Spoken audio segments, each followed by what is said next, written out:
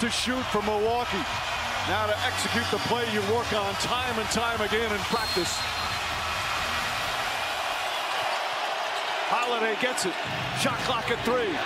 Holiday looks up, drives, throws it up. No good. Rebound Booker.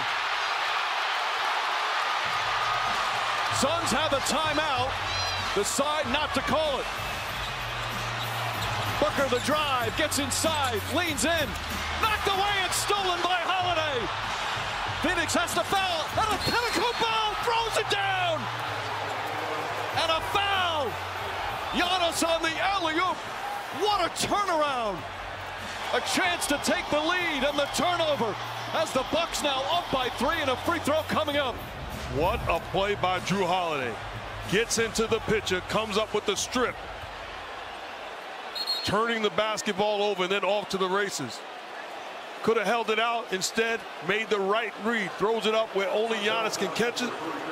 Finishes it with the contact. And bad decision to foul because this would make it a four-point game with 13.5 remaining. Phoenix still has a timeout. Once again, a critical free throw for Giannis Antetokounmpo.